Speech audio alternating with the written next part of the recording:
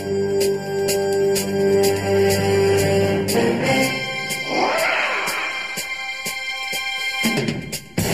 my friend.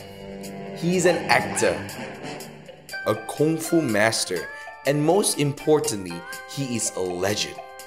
Never mention that he loves water so much. Water! Man, I miss him so much. Oh well. Got to move on.